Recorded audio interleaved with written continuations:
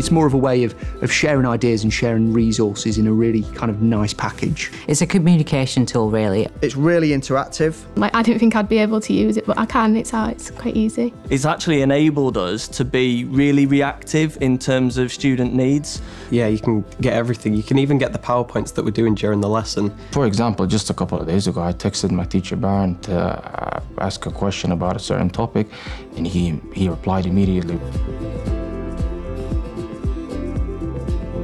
Initially, our plan was to make our digital landscape a lot more accessible. So what we were finding was that the students that we currently work with, they don't necessarily have access to loads of digital devices at home.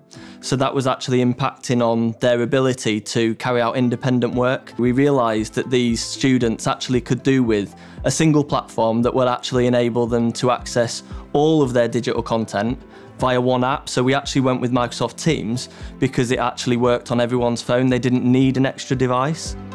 And it was kind of a trial basis at first.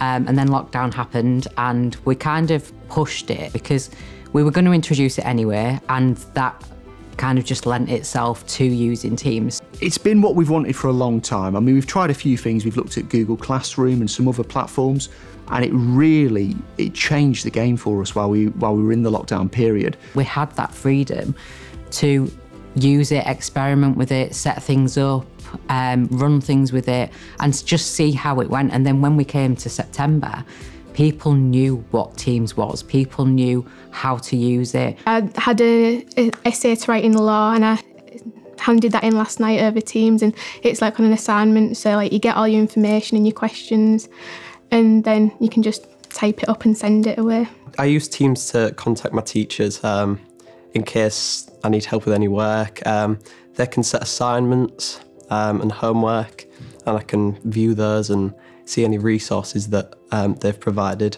So yeah, I think it's very useful.